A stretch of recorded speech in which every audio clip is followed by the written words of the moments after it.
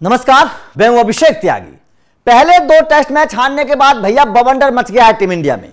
खबर है कि तीसरे टेस्ट मैच में, जो कि मुंबई के वानखेड़े स्टेडियम पर खेला जाएगा, उस तीसरे टेस्ट मैच में बहुत बड़ा तख्ता पलट होने वाला है और टीम इंडिया में तीन बड़े खिलाड़ी बाहर होने वाले हैं। यह खबर है। कि टीम इंडिया से तीन बड़े खिलाड़ी बाहर हो सकते हैं तीसरे टेस्ट मैच से।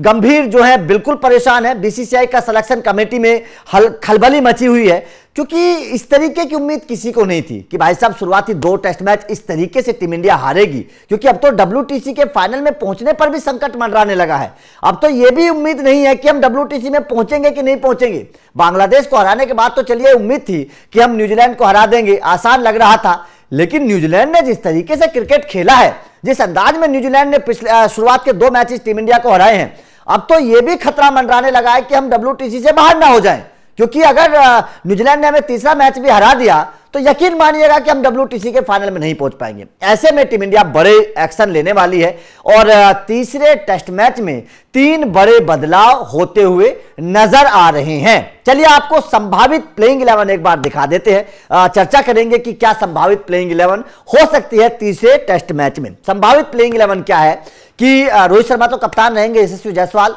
शुभमन गिल, विराट कोहली, सरफराज खान ऋषभ पंत को लेकर खतरा है। खबर है कि ऋषभ पंत की जगह ध्रुव जुरैल को मौका दिया जा सकता है, क्योंकि ऋषभ पंत के वैसे भी घुटने में चोट है। और बॉर्डर गावस्कर ट्रॉफी की अहमियत को समझते हुए ऋषभ पंत को की ज़रूरी है उन कंडीशंस में तो ऋषभ पंत को एक टेस्ट मैच का आराम दिया जा सकता है और ध्रुव जुरैल को मौका दिया जा सकता है। तो सबसे पहले खिलाड़ी जिसका बदलाव हो सकता है, वो ऋषभ पंत की जगह ध्रुव जुरैल आ सकते हैं, क्योंकि ऋषभ पंत के घुटने में चोट है और टीम इंडिया ज़्यादा रिस्क नहीं ले सकती। उसके बाद में वॉशिंगटन सुंदर है रविंद्र जडेजा की जगह अक्षर पटेल को मौका दिया जा सकता है। यह बड़ी खबर है। रविंद्र जडेजा क्योंकि बैटिंग और बॉलिंग से फेल रहे हैं, उतना बेहतर परफॉर्मेंस रविंद्र जडेजा ने नहीं किया है।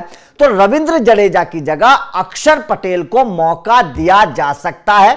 तीसरे टेस्ट मैच में, क्योंकि टीम इंडिया चाहती है कि टेस्ट मैच किसी भी कंडीशन में जीता जाए। रविंद्र जडेजा और अक्षर पटेल दोनों एक ही तरीके के खिलाड़ी हैं तो ऐसे में रविंद्र जडेजा की जगह अक्षर पटेल को मौका दिया जा सकता है। अश्विन रहेंगे, आकाशदीप रह सकते हैं जसप्रीत बुमराह की जगह मोहम्मद सिराज को मौका दिया जा सकता है क्योंकि जसप्रीत बुमराह को लेकर भी टीम इंडिया ये सोच रही है कि बॉर्डर गावस्कर ट्रॉफी से पहले जसप्रीत बुमराह को एक छोटा सा आराम दे दिया जाए क्या कि ताकि जसप्रीत बुमराह थोड़े से फिट नज़र आए बॉर्डर गावस्कर ट्रॉफी में। आ, तो ऐसे में मोहम्मद और वैसे भी आ, टीम इंडिया ये सोच रही है कि यहाँ पर स्पिनर्स का ज़्यादा दबदबा रखा जाएगा पिच ऐसी बनाई जाएगी ताकि स्पिनर्स को मदद मिले। ऐसे में जसप्रीत बुमराह को आराम देकर मोहम्मद सिराज को आकाशदीप के साथ मैदान पर उतारा जा सकता है। और रविंद्र जडेजा की जगह अक्षर पटेल जो इस वक्त फॉर्म में भी है और टेस्ट क्रिकेट में उनका बेहतर परफॉर्मेंस रहा भी है।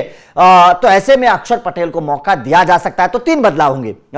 ऋषभ पंत की जगह ध्रुव जुरैल आ सकते हैं रविंद्र जडेजा की जगह अक्षर पटेल आ सकते हैं और मोहम्मद सिराज आ सकते हैं जसप्रीत बुमराह की जगह तीन बदलाव आपको तीसरे टेस्ट मैच में नज़र आ सकते हैं। और ज़ाहिर तौर पर देखिए बदलाव ज़रूरी भी है और टीम इंडिया को बढ़िया खेलना भी पड़ेगा। WTC ऐसा नहीं है कि अभी तक हम फाइनल में नहीं पहुँच पाएँगे। पहले तो हमें तीसरा टेस्ट मैच न्यूजीलैंड के खिलाफ जीतना है और उसके बाद में पाँच टेस्ट मैचों में से चार मैच जीतने हैं। बहुत मुश्किल रास्ता है, उतना आसान है नहीं। लेकिन उसके बावजूद, अगर टीम इंडिया ऑस्ट्रेलिया के खिलाफ बेहतर परफॉर्मेंस करती है, मैं तो बोलता हूँ कि ऑस्ट्रेलिया के खिलाफ अगर हम जीत भी नहीं पाते हैं ड्रॉ भी मैच होते हैं तो भी टीम इंडिया अपने उन पॉइंट्स पर रुकी रहेगी। यहाँ पर बहुत ज़रूरी है यह चीज़ समझिएगा।